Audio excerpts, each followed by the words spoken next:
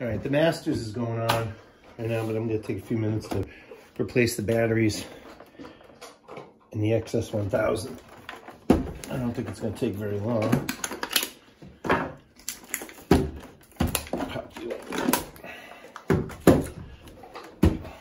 Carefully peel this sticker off in one piece because it's going back on the one you're replacing. There's a very easy way to do this so you don't forget what you did.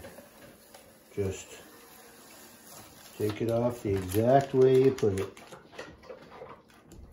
Flip it over because there's a red one on the back. Take it off in one piece.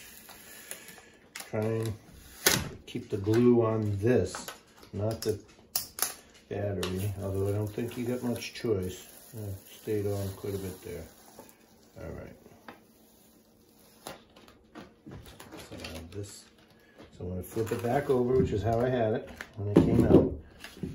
To separate it, here's what you're gonna do.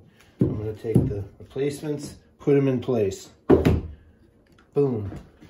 There's spade lug terminals on there, black and a red.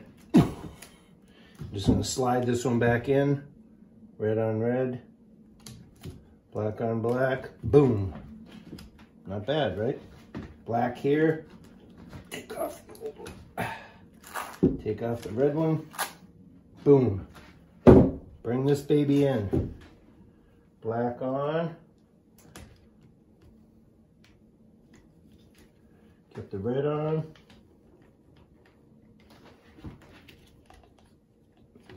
Back together.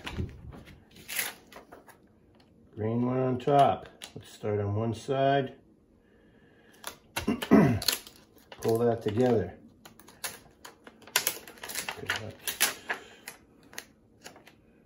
There we go. Okay. I'm pulling it together there we go. I'm pushing it at the same time to keep it taut.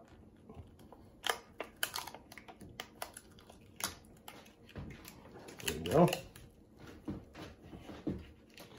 Flipping it over.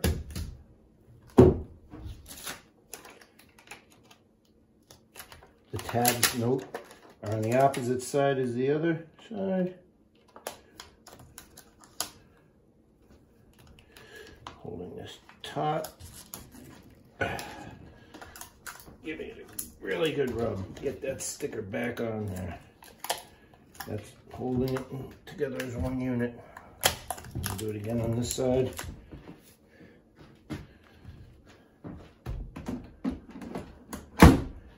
Wow, that was so tough. All right, this slides in.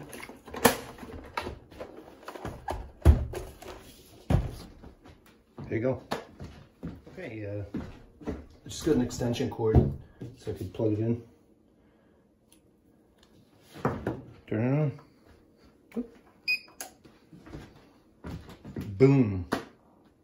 This thing was beeping. This was all the way down. I think it was 21, 25 bucks on uh, Amazon. And the battery was here in a day. And you saw it took me, was that five minutes? I don't even think it was five minutes. Okay.